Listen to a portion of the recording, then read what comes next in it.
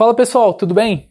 Vamos dar prosseguimento no resumo da obra Geração de Valor do Flávio Augusto da Silva. A gente está falando do primeiro livro da trilogia, tá bom? Esse capítulo é denominado como Para quem não se ofende com a verdade. Bom, vamos entender né, o que, que é isso que o, que o Flávio Augusto está falando, porque eu acho que isso vai mudar a sua percepção, ou pelo menos um pouquinho, sobre o mundo, sobre como você encara a vida.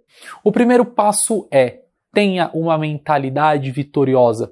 Se você acreditar todos os dias que você é um vencedor, você vai se tornar um vencedor. Você não vai se contentar por pouco. E aí ele já vai para o segundo mandamento, segundo ensinamento que ele compartilha, que é tá na média não é ser vitorioso. Bom, você pode estar muito satisfeito com a situação do seu time no, no campeonato, mas o seu time terminou em décimo, é, só tem jogador ruim, tá cheio de dívida. Isso é bom? Não, acredito que não. Vai ser mais um time, vai provavelmente se apagar na história. Então você quer marcar o que você está fazendo na vida, você quer ter presença, você quer ser reconhecido. E o terceiro ensinamento que ele compartilha é: a vitória não se encontra nas massas. O que ele quer dizer com isso?